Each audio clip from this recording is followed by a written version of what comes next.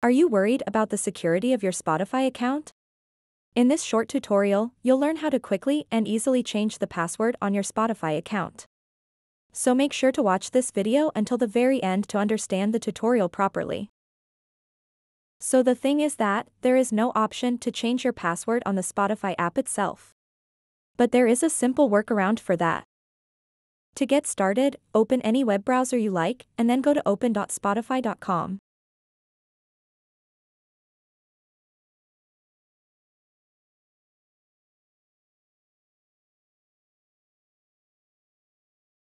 After that, log into your Spotify account.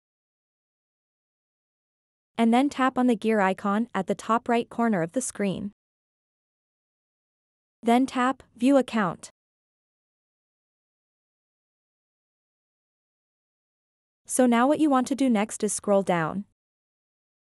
And you'll see a section called Security and Privacy, and under that, you'll see the Change Password option.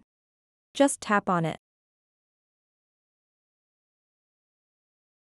Now you have the ability to change the password for your Spotify account.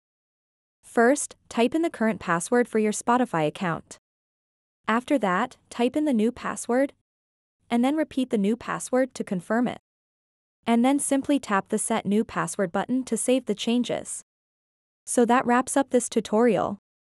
If you have any questions about this whole process, please let me know in the comments section below. And if this video helped you out, please give it a big thumbs up and subscribe to this channel for more tutorial videos like this one. Thank you so much for watching and have a good day.